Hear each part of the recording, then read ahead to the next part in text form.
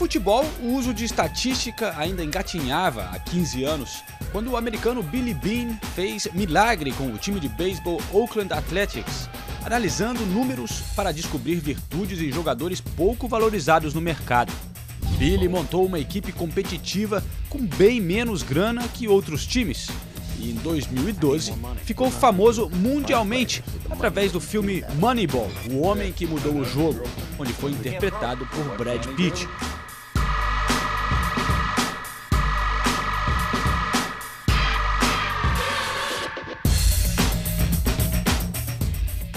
Hoje, com o desenvolvimento da tecnologia digital e a criação de plataformas especializadas, o uso da estatística é uma realidade em todos os esportes, especialmente no futebol.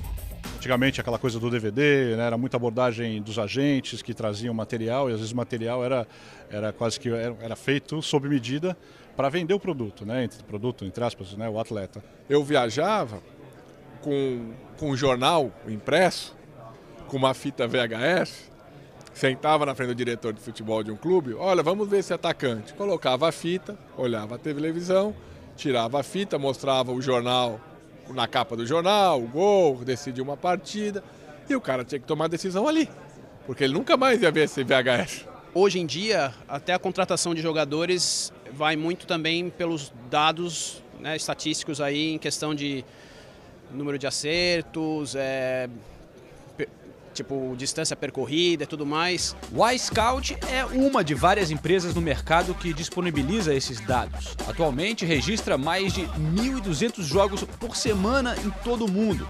Cada partida é analisada por 8 horas para separar as informações e criar os vídeos. Hoje você pode clicar num botão e ver quem é o jogador que mais cruzou bola no futebol brasileiro. E ver todos os cruzamentos dele, com a perna direita ou com a perna esquerda.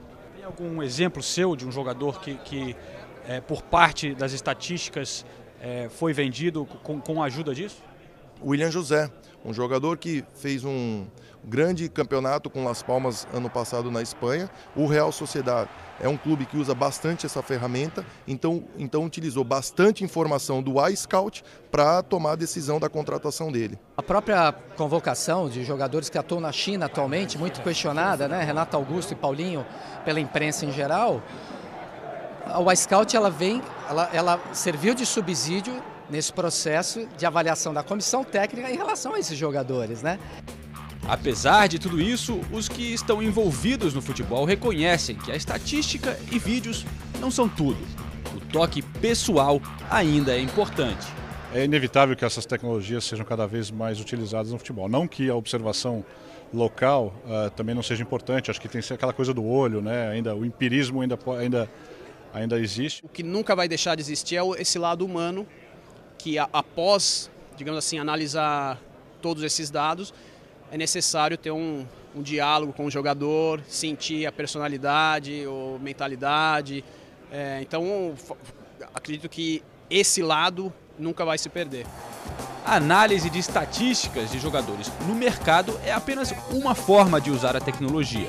Clubes também estão usando as estatísticas internamente para analisar adversários e os próprios atletas ajuda, acho que hoje em dia, bastante os jogadores que, que gostam de ver né, as estatísticas, gostam de, de analisar o quanto, como foi o jogo, como foi a partida, como foi o desempenho de cada um.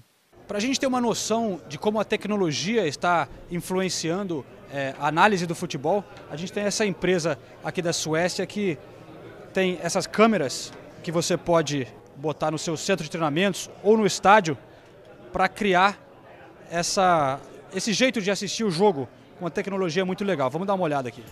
As câmeras instaladas produzem uma imagem interativa, mostrando o campo inteiro, e isso possibilita ver a movimentação e posicionamento de cada jogador o tempo todo, detalhadamente de vários ângulos, esteja com ou sem a bola. Cada vez mais, esse tipo de tecnologia está presente em clubes de todos os níveis.